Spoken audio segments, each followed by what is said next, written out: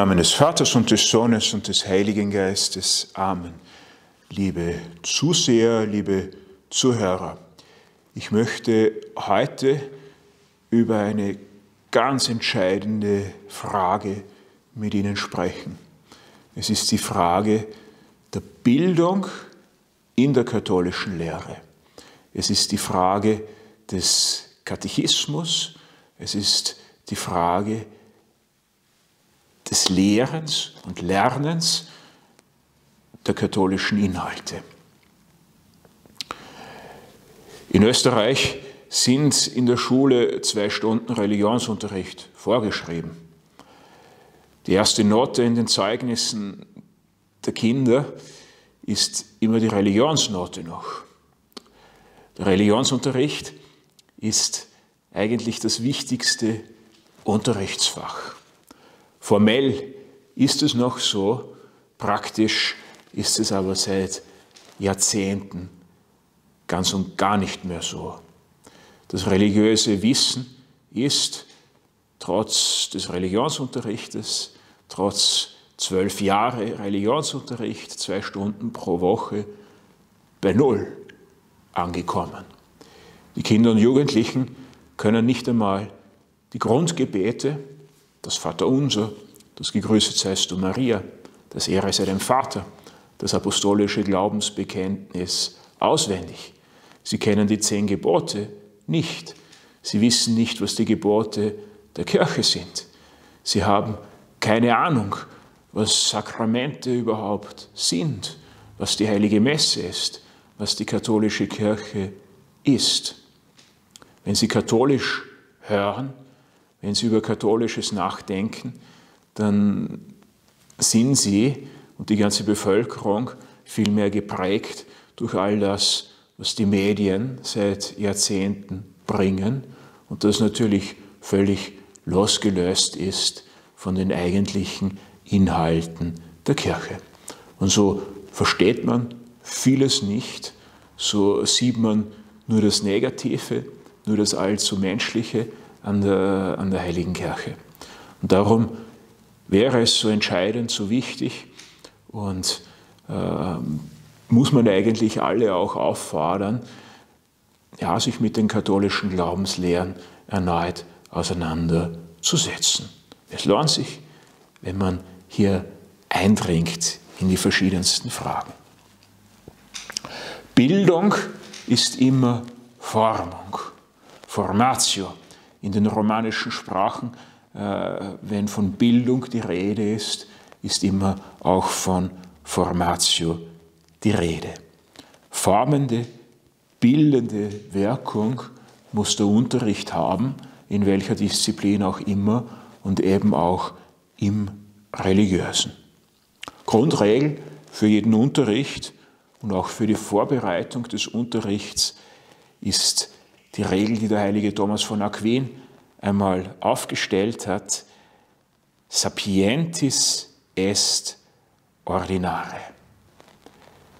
Des Weisen Aufgabe, könnte man sagen, ist es, die Dinge zu ordnen.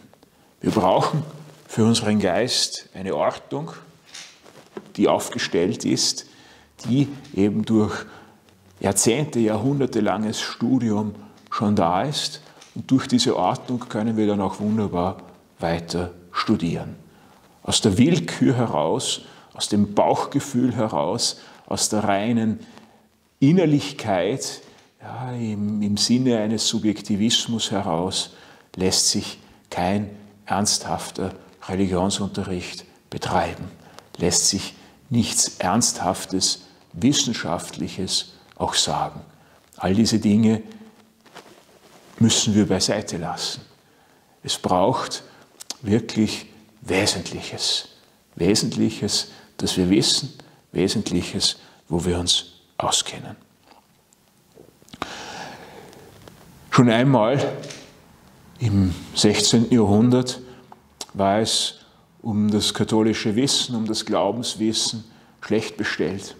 Es war in der Zeit der Reformation mit allen Umbrüchen und so hat das Konzil von Trient das eben ein großes Bildungskonzil auch war, im besten Sinne des Wortes angeordnet, dass hier in diesem Bereich auch etwas getan werden muss. Und infolge des Konzils von Trient haben große Heilige der nachtridentinischen Zeit sich dieser Frage gewidmet.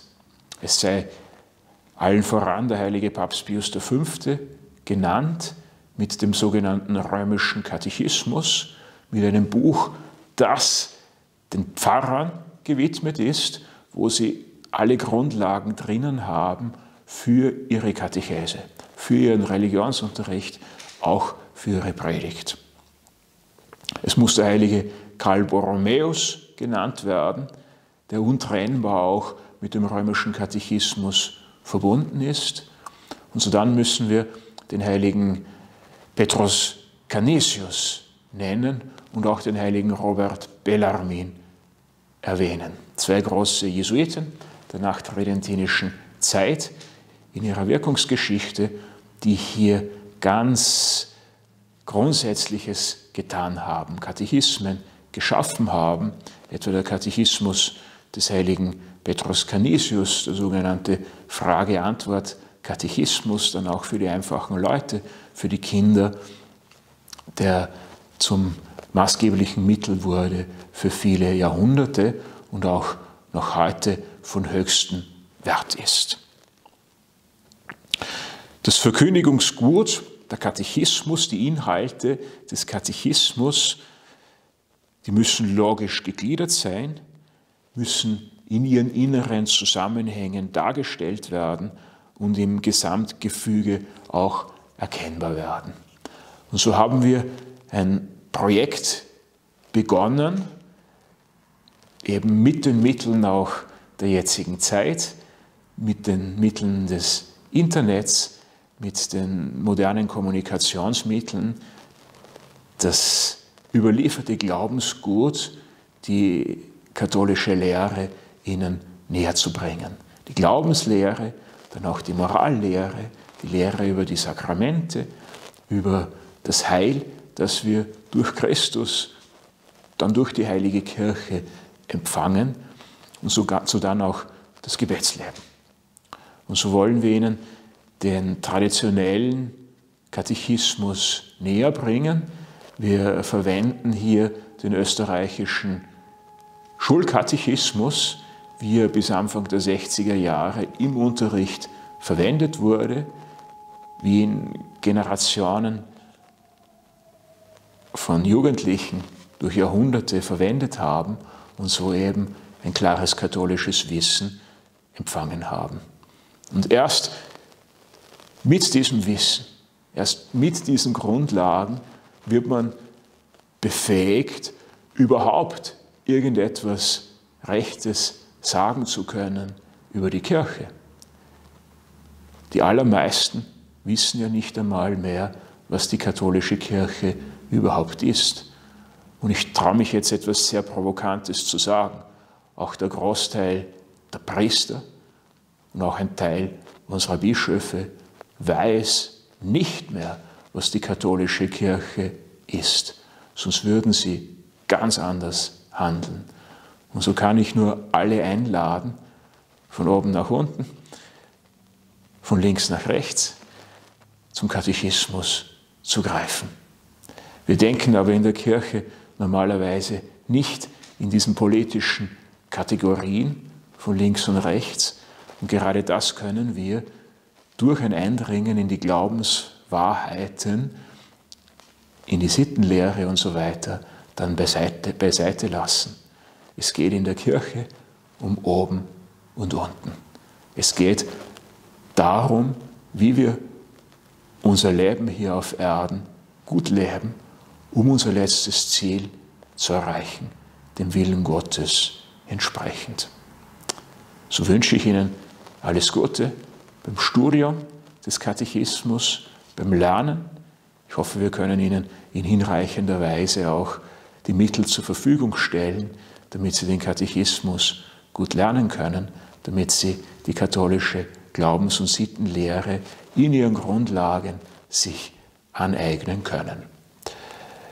Diejenigen, die den Katechismus können, so wie unsere Vorfahren, wie unsere Großeltern, Urgroßeltern, die haben ein größeres theologisches Wissen als die meisten Theologen an unseren gegenwärtigen Universitäten und Hochschulen. Das kann ich Ihnen aus ganzem Herzen, aus ganzer Seele geradeaus sagen. Studieren Sie, lernen Sie und, das ist noch ein weiterer Schritt, verinnerlichen Sie das, was Sie im Katechismus, in der katholischen Glaubenslehre und Sittenlehre vorfinden. Und dann die praktische Anwendung auf Ihr eigenes Leben. Wir müssen den Glauben bewahren und wir müssen uns im Glauben bewähren. Das ist von uns Christen gefordert. Gottes reichen Segen Ihnen allen.